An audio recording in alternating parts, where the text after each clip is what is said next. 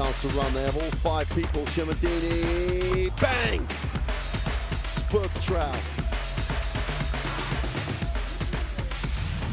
Got to play. They throw it all the way down the court. He gets it. He throws it up. Unbelievable.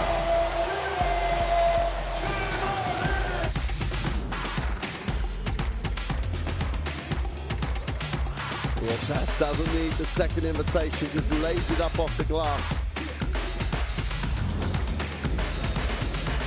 That patented shot from Huertas where it goes off one foot. Unbelievable. What can we say about Huertas that we haven't said already?